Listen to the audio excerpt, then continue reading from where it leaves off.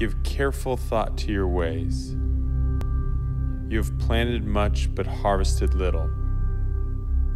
You eat but never have enough. You drink but never have your fill. You put on clothes but are not warm. You earn wages only to put them in a purse with holes in it.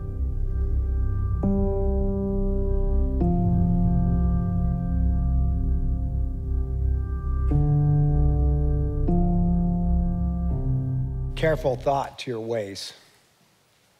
Give careful thought to your ways. September 6, 1990, there was a young man that was doing just that. He was giving careful thought to his ways. He'd been out all night long partying, celebrating his 26th birthday, but when he had come home early in the morning, he came home to an empty house. Gone was his wife of seven years. Gone were his three precious children with her. And who could blame her? As he thought, he thought, how could I be so selfish? This whole time I've been chasing my own dreams and, and doing what I wanted to do and partying and acting like I was just somebody special. And all the time I was leaving my family behind. I had basically abandoned my wife, my children, as I pursued empty dreams. And so he was giving careful thought to his ways. And as he sat there in his living room on the floor, he realized his life was broken with no hope in sight. And so he wept bitterly. 2,500 years earlier, there was another man who was as equally broken. See, he was a leader his name was Zerubbabel. He led, he was supposed to lead the nation, the remnant of the tribe, the nation of Israel. He was supposed to lead them. He was supposed to rebuild the temple. And he had come back and he had led the team and they had done wonderful work. But at some point, he had failed miserably as a leader. And the only thing he could see in front of him was brokenness a broken foundation that had been covered by weeds and dust that had been sitting there for 16 years. And he wept bitterly, utterly broken. But hope was on the horizon. And that hope came in the form of two prophets named Haggai and Zechariah. Two men that God had sent to this leader and to the tribe and to the people of Israel, the nation of Judah. He had sent them to speak his truth and to offer hope and reconciliation and restoration if they would just follow him. And so today we're gonna meet these two prophets, these two prophets, Haggai and Zechariah, the last of the two prophets that we'll cover in this series, where we've been looking at major lessons from minor prophets. And so, first, I want to call your attention to these guys, Haggai and Zechariah. And before I begin, I know that some of you out there are, are name purists. And some of you would say, well, his name is actually Haggai. And I would say it is Haggai. But for the sake of today, can we all be syllable conservationists? Can we just say a few syllables? Let's just call him Haggai. Can we do that? Y'all are okay with that? Amen. So we're going to call him Haggai, but Haggai and Zechariah, first and foremost, they were partners in prophecy. They actually were contemporaries. A lot of people don't realize that of all the, the, the minor prophets, they're the only ones that prophesied to the same audience at the same time in history. They were contemporaries. Oh, but they were quite different, weren't they? If you look at the image behind, this is the artist's rendition of the two. Guess which one is which? Well, Haggai is actually the older fellow up there. He was a more seasoned prophet, much more experienced. In fact, some people think that he was probably in his 70s at the time when actually uh, we read about the, him in Haggai, and we read in the book of Ezra also. I think he was by his 70s. He probably was actually saw the original temple of Solomon. We'll cover that in a minute. But Haggai, more seasoned, experienced. He was also a man of very few words. In fact, he's only two pages. Look at your Bibles. Two pages, Haggai, right? Man, he had some powerful words, though. He packed a lot of punch. His counterpart, on the other hand, was quite opposite. In fact, he was young. He was kind of a voice of a new generation, right? And he actually spoke and he actually had visions. He was a real visionary leader. In fact, literally, he had visions, and he had eight of them, as a matter of fact. And he spoke a little, little lengthier. In fact, we've about 14 chapters in the Bible. We read Zechariah. And so the two, quite different, but each packed a really powerful and unified message of hope and restoration to a broken nation. And so we're going to take a look. Let's just kind of look and see, like, when did these two, what, when did when their place in history, when did that actually occur? So what I want to do is I want to kind of walk you back in history so you get a little understanding of the context of the audience they were, they were speaking to and they were preaching to. So way back over here, around 930, way off our, our sketch up here, uh, actually around 930, there was a king and his name was Solomon. And he actually ended his reign and he died in 930 BC. And when Solomon died, his two sons, you know how boys are, especially sons, they can never get along, right? I've got three sons, so I know. Well, they started a fight, right? And they had these two, this fighting, these two sons, and they both wanted to be king. And so what you have is you actually have the split of the nation of Israel, of which Solomon was the king. And then you have the northern kingdom, which was Israel. The southern kingdom, of course, was named Judah. There were 10 tribes in the northern kingdom, and there were two tribes in the southern kingdom. So, two kingdoms. Well, as we move across the timeline, you see in around 722 BC, the northern kingdom, Israel, falls, wiped out by the Assyrians. They come in and completely destroy the northern kingdom. The southern kingdom remains, Judah remains, oh, but around 586, they are actually destroyed and con- or conquered and destroyed by the Babylonians. And in so doing, the Babylonians take a large po- population of those Judah, the folks that were living in Judah, the what's left, the remnant of the nation of Israel, and they take them into captivity off to Babylon. And they're there in exile for about 70 years. And as part of conquering and destroying the, the city of Jerusalem, the nation, what happened was they destroyed the temple the temple that had stood for about 400 years. Solomon, King Solomon, had constructed this massive temple. And in that temple, God's glory was manifest. And so this temple stood as a sign of, it was the religious place. It was absolutely the highest place you could go as far as the Jewish religion was concerned. It was also a sign of cultural and national pride. The temple meant everything. And in 586, the Babylonians came in and completely wiped it out, destroyed it. Well, 539, there's a new king. The Babylonians get taken out by the Persians, and the Persian king comes in and says, You know what? Why don't we let all of these people that have been living in exile return to their homelands? And he actually encourages the people of Judah to return to their homeland and rebuild their temple and continue to practice their religious ways. Wow powerful story. And so this remnant comes back. About 50,000 people come back. And they're excited to be back because the first task that God's given them is to actually go and rebuild the temple so that God can be present, God's glory can be manifest with them. And so they do. They start out and they do great work, and the foundation's laid. And guess what happens? Well, a little bit of opposition, and you know, around 539, they come back. You got, oh, let's see, 16 years later, they've made very little progress. And so God sends these two powerful, powerful prophets in to speak truth to the people of Israel. And the first thing we learn about these two, Haggai and Zechariah, is that they provided the people with exhortation, inspiration, encouragement to do God's will. See, the people had actually given up hope and they were following their own ways. They'd forgotten about this faithful God, and instead they were, they were pursuing their own thing. The other thing was they also called the leadership of Jerusalem and Judah in to really into account, to greater accountability.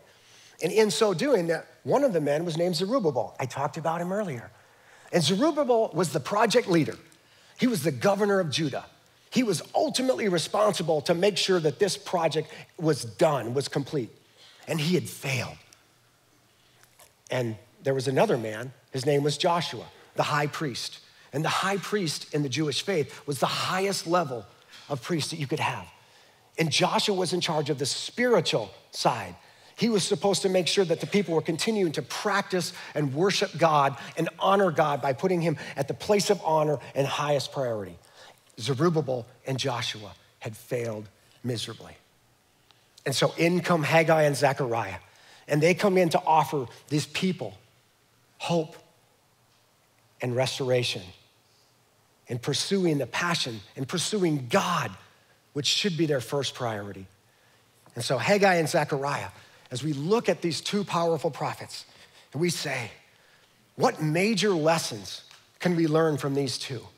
What are some major lessons that we can learn from Haggai and Zechariah?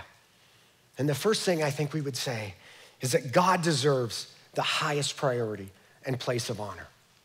God deserves the highest priority and place of honor.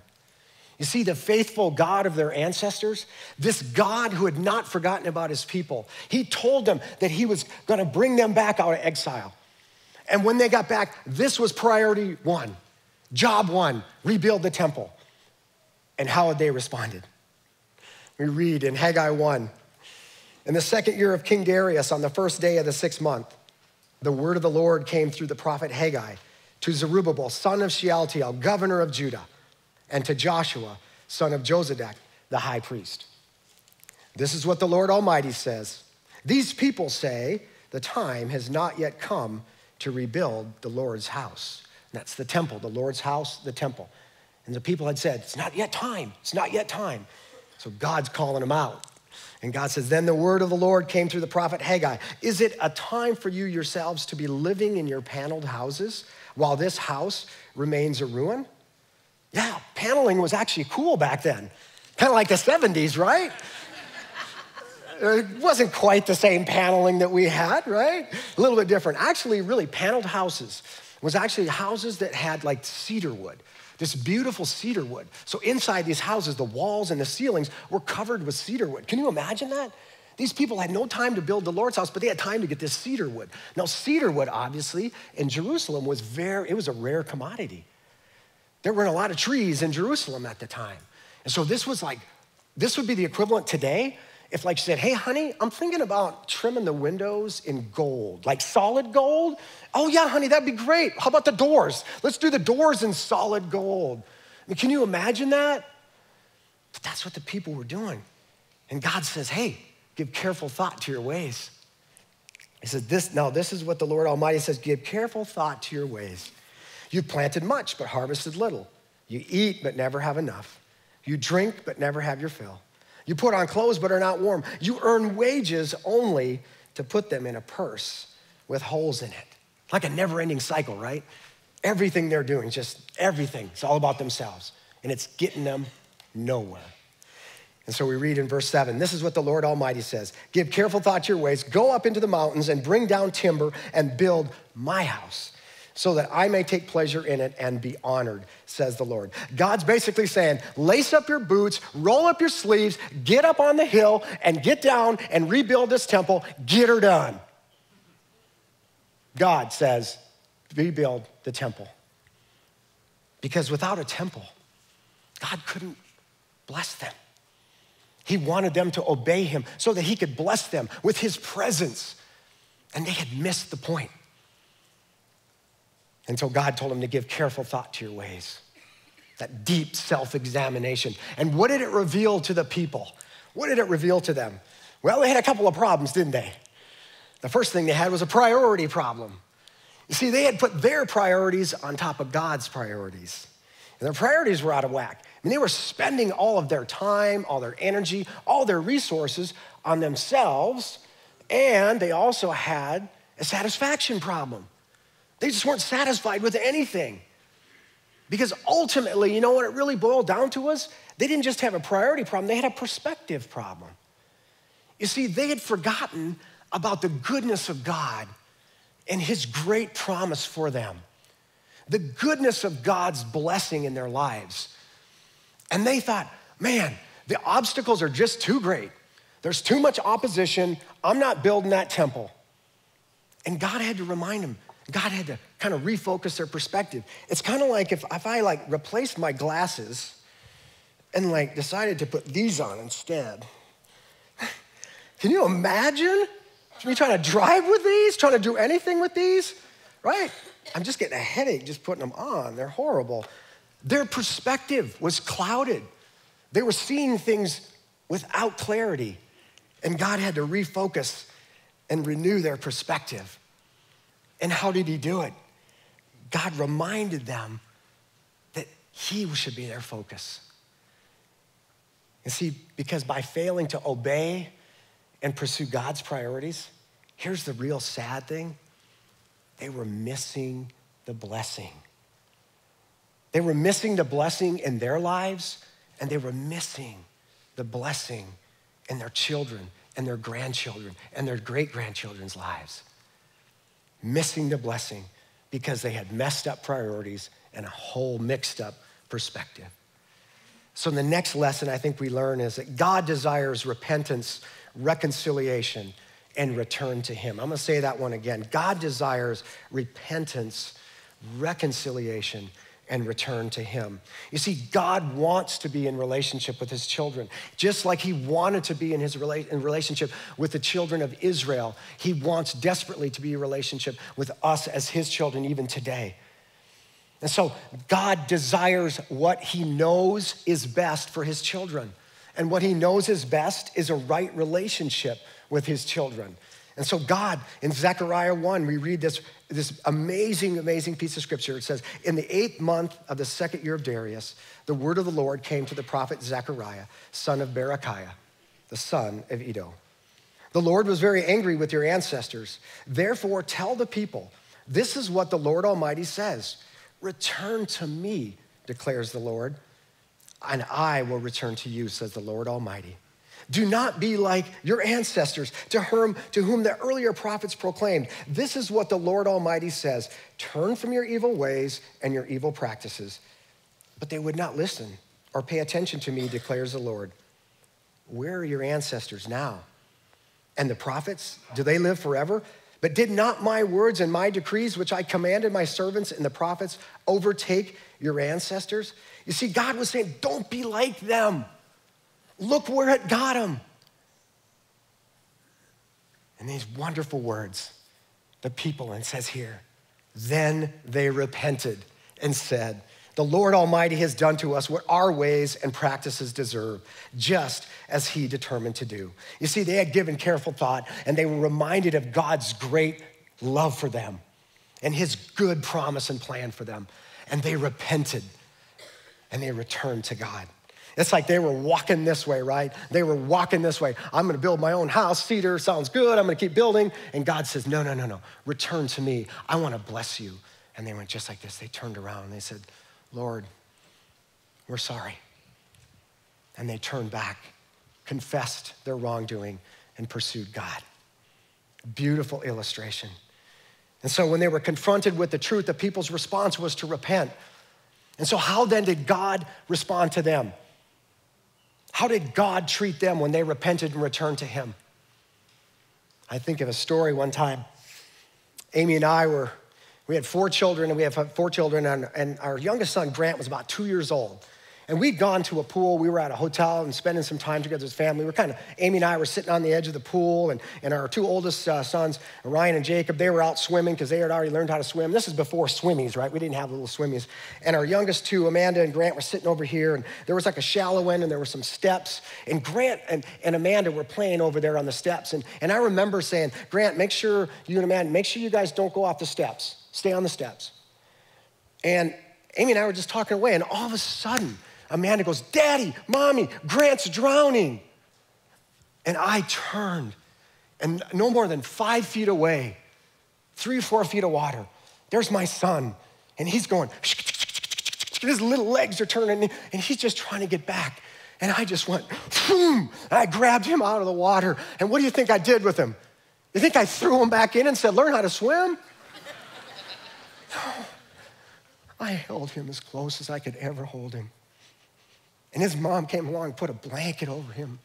And I just embraced him. That's how God loves his children when they return to him. They recognize they're going the wrong way, and God embraced him. And what he did to the nation of Israel, what he did was he then stirred up the spirit.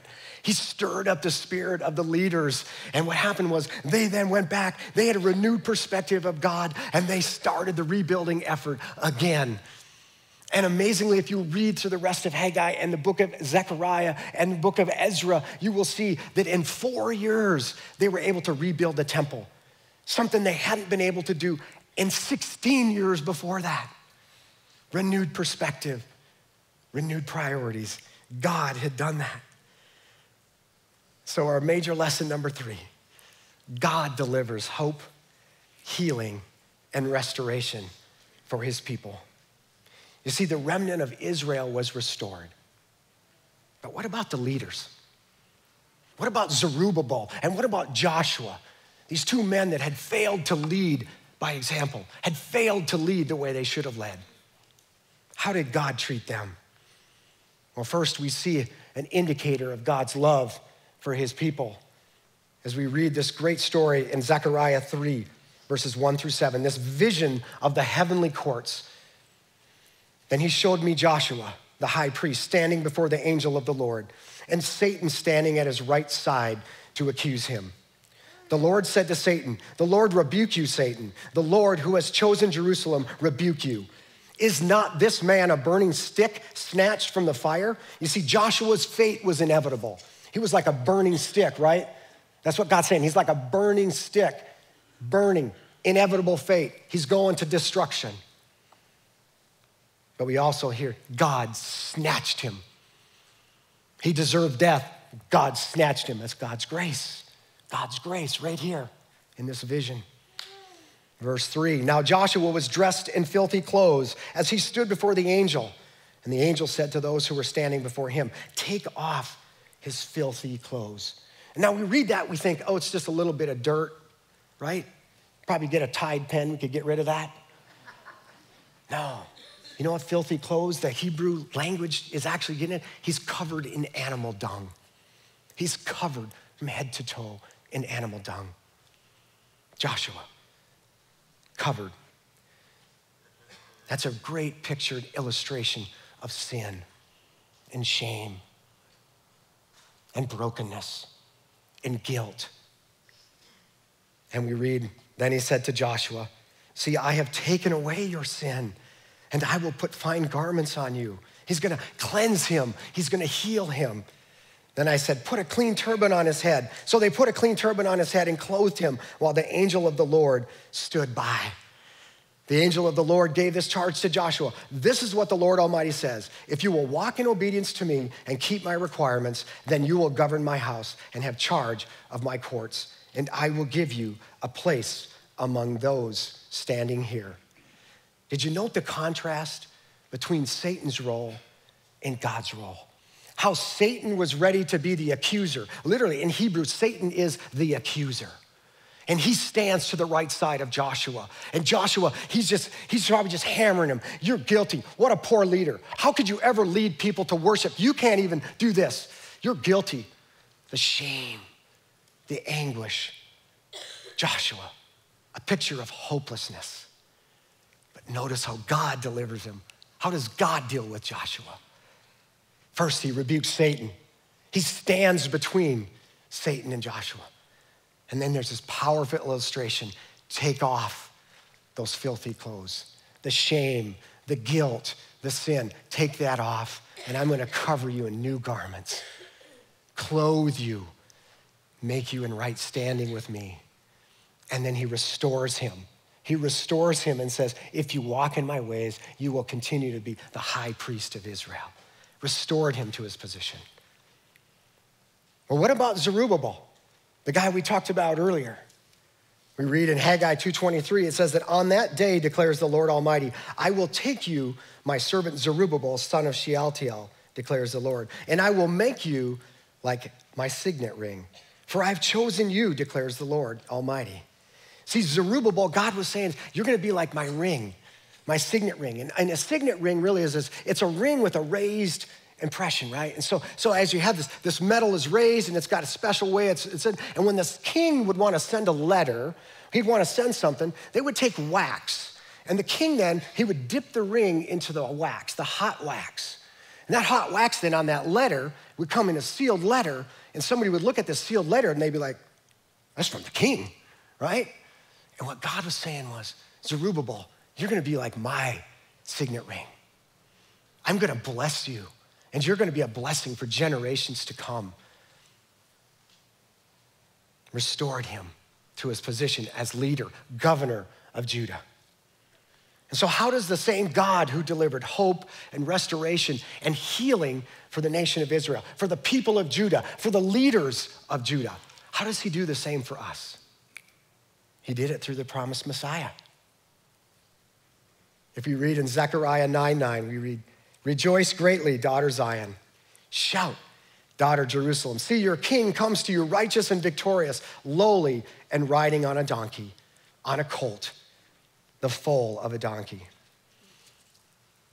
Where have you read that before? Maybe you've never read that before. See, over 500 years later, Jesus, the promised Messiah, would enter the city of Jerusalem on the back of the foal of a donkey. And Jesus, the Messiah, would walk the temple courts. Great glory, the greater glory than the original temple, greater glory than the newly constructed temple. Jesus would come and he would bring hope, he would bring healing, he would teach, and he would restore people's lives. In Jerusalem, Jesus also, he would go to the cross. And in so going to the cross, Jesus would take away the sins of all man for all time. And then in that moment, he offers us, us, all men, women, the opportunity to be cleansed, to be healed, to be restored. Jesus, the promised Messiah. And so if Haggai and Zechariah were here today, maybe you'd have to get a bigger stone. There'd be two of them here, right? What would these two prophets want to say to us today? what would they say to us? I think the first thing they would say is, God still needs to be our priority. You see, God, He loves us. He knows what's best for us. He created us. And so God knows that, that He needs to be at the top of our list. He needs to be our focus. And so what we need to realize is that obedience to God still matters. When we obey God, not only are we pleasing God, but we're also giving God the opportunity to bless us because His will and His ways are best for us. So, God still needs to be our top priority. So, we have to ask ourselves as we give careful thought to our ways, how are we spending our time? Where are we focusing our energy, our resources? Now, God's love doesn't change for you. It's not about how much time you spend or how much money you spend or how many resources or what energy you put into it. God's gonna love you the same. Guess what? God wants to bless us. He wants to bless us. And so living in obedience to Him, sharing, serving Him is the best way for us to feel and be and, and live in His blessing. God still needs to be our priority. God still offers hope healing and restoration. That's another thing I think they'd tell us. You see, like Joshua the high priest, maybe we find ourselves in a situation where we feel kind of hopeless. Maybe our life is in shambles. Maybe as we look around at our life, we say, Is there anything in my life right now that I believe God can't forgive me of? Is there anything in my life that I believe God won't love me because of what I've done? But see, God is great love for you. There's nothing outside of His will. God, nothing is outside of His ability. And if it's His will, He will do it. And it was His will. His will was to bring you into relationship with Him because He sent the Messiah, His Son, to pay the price for your sin, the sin that separates us from God. And so, if you choose to follow Jesus, the Messiah, He will transform your life, your marriage, your relationships, your work, your school, whatever it is. Jesus will transform your life. And finally, God still uses brokenness and broken people for His glory. Do you remember Zerubbabel? Well, God used Zerubbabel in a powerful way. He restored him to his leadership. And if you go back and read in the book of Luke and the book of Matthew, and you look at Jesus Christ's lineage, you'll find the name Zerubbabel. You see, 11 generations after Zerubbabel, Jesus Christ, the Messiah, came out of his lineage. The signet ring, God's stamp of approval for generations, for eternity to come. And we look at our lives and we say, Does my story matter? My story of brokenness, my story of restoration. And you might say, Pastor Sean, you have no idea how broken my life is right now. You have no idea how broken my marriage is right now. You have no idea how broken my relationships with others are right now. And I can only tell you, you're right. I have no idea how broken your lives are. But what I can tell you is that my life was equally broken. Because on September 6, 1990, I was the broken man that was seated in the living room. I was the broken man whose marriage had gone, whose children were gone, whose wife was gone. But three days of sitting there, anguishing, weeping bitterly, my wife returned. My wife of seven years had returned, and she came back and she said, Honey, I offer forgiveness. I forgive you for everything you've done. And in her arm, she was carrying one arm, she had her one year old baby girl. And then the other arm, she was carrying a Bible, the Good News Bible. And she said, Honey, I forgive you, but our marriage can never continue until you have the right relationship. And I said, Honey, I'm ready to do whatever I can take, ever I can do. She said, Honey, it's not with me, it's with Jesus. And for the first time in my life, someone shared the good news the gospel of Jesus Christ, that He came to earth. He paid the price for my sin and offered me a free gift of salvation, eternal life, offered to forgive all my sins. And He offered it for free. And in that moment, I kneeled down with my wife and one year old daughter, and I accepted Christ. And He transformed my life forever. And not only that, but our marriage, it was restored. Now, our marriage, just like anybody in here's been married, it's been a rocky road, hasn't it? It's a rocky road. But with Christ at the center, all things are possible. And He has brought us to reconciliation, He's restored our marriage. And what's really neat is I have the honor today to share that story, my story of brokenness and God's restoration in my life. 34 years after my wife and I were married on this same day. And there's an image of that happy couple. Now, I'm not sure why she would marry anybody with a haircut like that, but she did. 34 years later, and just last year, my wife and I gave that one year old daughter, we gave her hand away in marriage. Here's a picture of that a family that was broken, restored to the gospel and the saving truth and hope that we find in Jesus Christ, the Messiah. That's my prayer for you today that you will find hope, healing, and restoration in Jesus, the long awaited Messiah, your Savior and mine. Let's pray. Dear Heavenly Father, Lord, we thank you. We thank you that you are a God of hope, a God of restoration, and a God who loves us beyond compare. And so, Lord, today we gather in this place and we come from all different walks, all different backgrounds, and all different situations, conditions of life. And some, Lord, have known you deeply for many, many years. And so, Lord, today would it be a reminder of your great love for them, no matter what they're at, what they're doing, where they're at, Lord, your great love for them. They can continue to pursue you and continue to love and lead others in a relationship towards you. And Lord, we also know that there may be others who don't know you yet. They've never even heard the story of your great love. So, Lord, today, in this time, and as we sing this next song, Lord, would you speak to them through the power of your Holy Spirit? Would you speak to all of us to be reminded of your great love for us, to restore us, to bring us into right relationship with you?